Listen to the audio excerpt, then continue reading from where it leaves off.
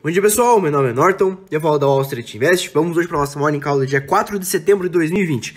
Atenção para o dia de hoje. Hoje é um dia de extrema importância para os operadores da Bolsa de Valores, pois hoje é o dia de payroll, o dia mais importante dos Estados Unidos, pois é dia de extrema volatilidade, um dia de possível extrema volatilidade, ainda mais após a grande volatilidade que houve nas bolsas de valores no dia de ontem. Ontem o índice SP 500 chegou a cair 4% e a Nasdaq chegou a cair 6% intraday, ou seja, a Nasdaq já subiu muito após essas várias e várias rompimentos de máximas e ontem foi o dia de realização de lucros. Então é muito importante que você fique ligado nessas notícias, pois pode deixar o mercado muito estressado conforme for a notícia. Então fique ligado a essas notícias de extrema relevância, pois o mercado pode sim ficar abalado.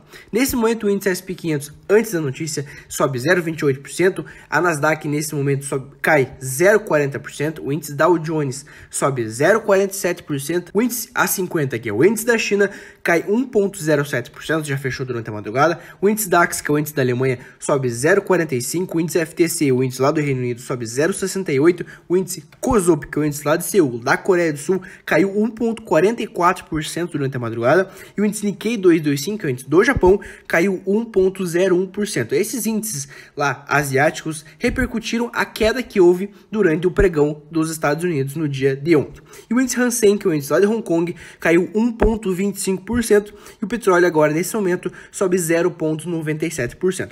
Bom, pessoal, fiquem ligados a essas notícias, pois é de extrema importância. Bons negócios a todos e até terça-feira.